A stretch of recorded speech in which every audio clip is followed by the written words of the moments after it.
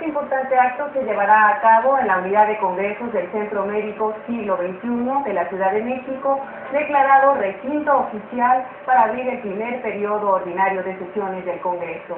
En estos momentos, el presidente Salinas de Gortari se encuentra en la residencia oficial de Los Pinos, hasta donde enviamos cámaras y micrófonos para llevar a sus hogares una entrevista con la familia Salinas Ocelli. La televisión mexicana está presente en el tercer informe de gobierno. Buenos días. Nos encontramos en los jardines de la residencia oficial de Los Pinos y como ya es tradicional en este día, la familia Salinas Ocelli ha concedido una entrevista a la televisión mexicana. Muy buenos días, maestro Escribano, buenos días. Buenos días. Muy buenos días y buenos días a toda la familia Salinas Ocelli.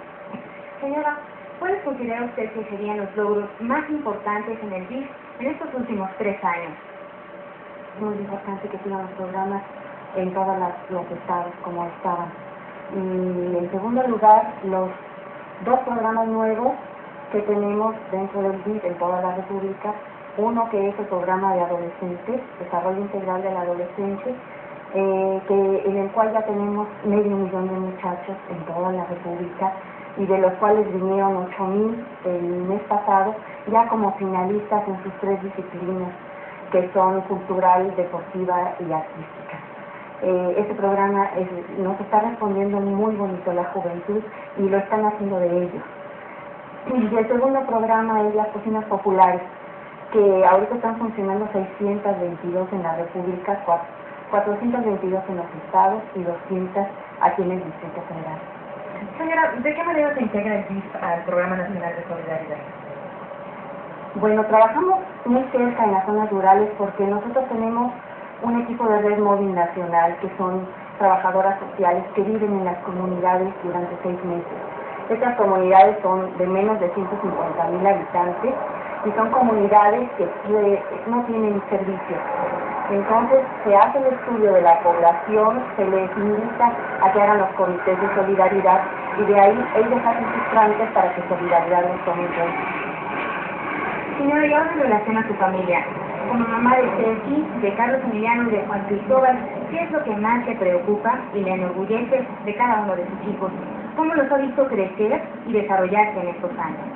Yo creo que mi, preocupación más grande es la que tenemos con los padres de familia, que los hijos vayan teniendo una preparación para salir adelante, que deseen ser parte de, de su país, de su sociedad y que en un futuro ayuden a su, a su sociedad, a su familia y a su país.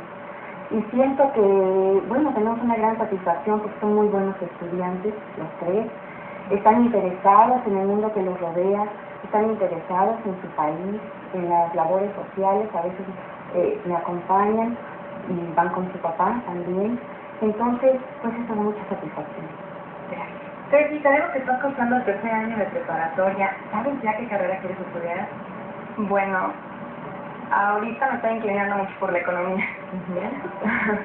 pues un tema muy interesante de actualidad. Pues sí, lo que pasa es que a mí me interesa más entender un poco más a fondo los problemas por los que está pasando el país para poder tener mejores soluciones en el futuro. Y además de derecho, ¿cómo no? Eso es lo que estaba esperando que ¿no? Claro. ¿Algún personaje de la historia que admires o que te llame la atención? Bueno, admiro en especial a dos que, bueno, uno podría ser Benito Juárez y el otro Emiliano Zapata porque han hecho cambios muy impresionantes en la historia del país y pues por ejemplo Emiliano Zapata este apoyó mucho a los campesinos en su momento, luchó con ellos y pienso que es algo muy importante.